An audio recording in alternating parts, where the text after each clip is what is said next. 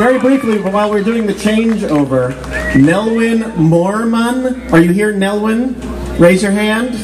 Does anyone know Nelwyn? Because right now, I'm the only person that can get into your cabin. Okay then. If anyone knows Nelwyn, send him towards uh, the stage area. We'll get his uh, get the key back to them. Otherwise, it'll be on the ship in uh, Lost and Found. Stay tuned, lots more awesome show coming.